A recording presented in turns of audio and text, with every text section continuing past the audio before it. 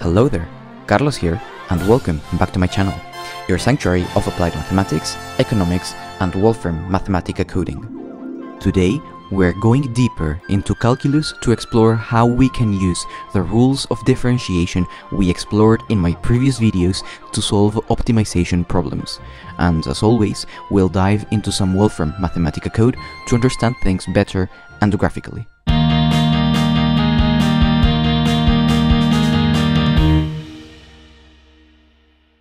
Think of optimization as a strategic game. You are looking for the best strategy. It could be finding the highest point of profit or the lowest cost possible. Those would be your maximum and minimum points, respectively. And the functions for each can take many different forms according to the context. To find these critical points, we turn to our first order conditions, or FOCs as we like to abbreviate them. The FOCs require us to find where the derivative of the function is equal to zero. But why zero, you might ask? Well, at a maximum or minimum, the slope of the function is flat. Picture standing on the top of a hill. As you reach the peak, for a moment, the ground is flat beneath your feet. That is the maximum point. Similarly, in a broad valley, the ground is flat at the deepest part. That's your minimum point and the slope of flat ground, that is indeed zero. This is why we set our derivative equal to zero. It's the mathematical representation of these turning points in our landscape. So, the places where the derivative equals zero are our potential maximum and minimum points. But without any visual input into the graph of the function, it naturally feels a bit like being blindfolded and only feeling the ground under your feet. How can you tell if you are standing at the top of the hill or at the bottom of the valley? This is where the second order conditions, or SOCs, enter the chat. If the second derivative at a certain point is positive, it means the function is curving upwards at that point. Picture the bottom of a bowl or a valley, curving up on both sides. That's a minimum. If the second derivative is negative, it means the function is curving downwards at that point. Picture the top of a hill or a dome, curving down on both sides. That's a maximum. This helps us distinguish between maximum and minimum points in a much more concrete way. Did all of that sound too weird, perhaps? Don't worry, let's walk through an example with this function f of x is equal to x to the power of 4 minus 4x squared. What are the maximum and minimum points of this function?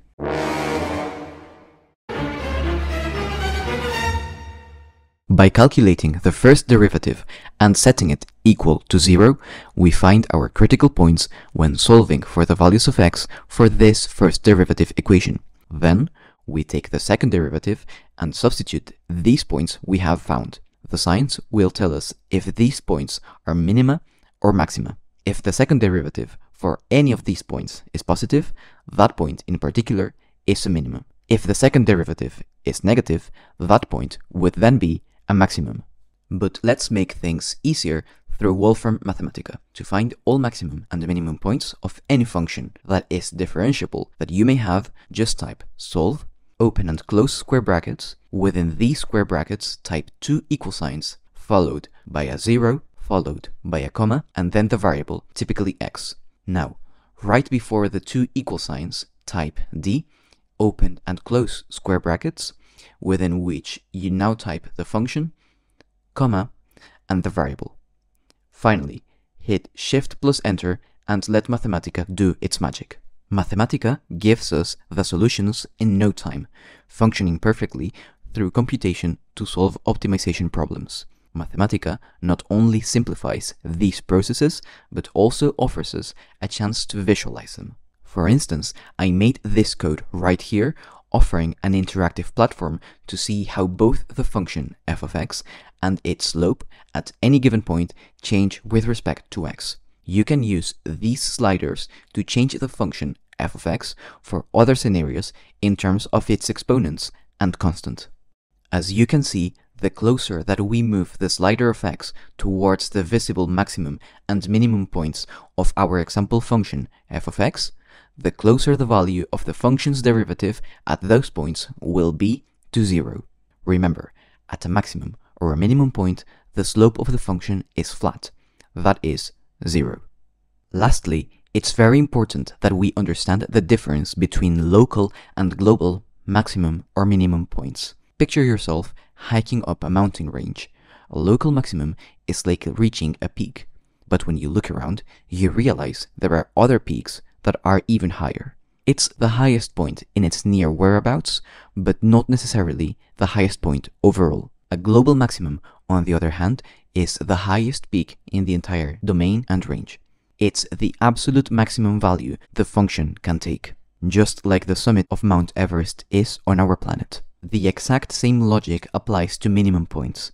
A local minimum is the lowest point in its immediate vicinity, while a global minimum is the absolute lowest point the function can reach, just like the Mariana Trench is also on our planet.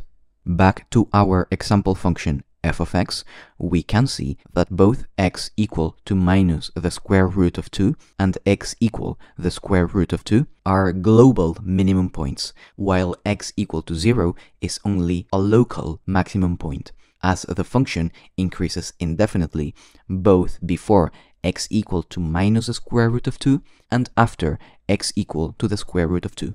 In the context of calculus applied for economics, we are mostly interested in finding these peaks and valleys, the points where our function reaches its highest and lowest values. These points can provide crucial insights into our problems, whether it's about maximizing profit, minimizing cost, or any other scenario where we want to find the best possible outcome. And that's it, my friends. One variable optimization, demystified and visualized. Remember, math is not about reciting rules, it's about understanding and intuition. And with Wolfram Mathematica, we're making this understanding an exciting journey, one video at a time. So keep exploring, keep learning, and remember, stay curious, stay passionate. This is Carlos, signing off for Angulo Live. Enjoy your day, everyone. Peace.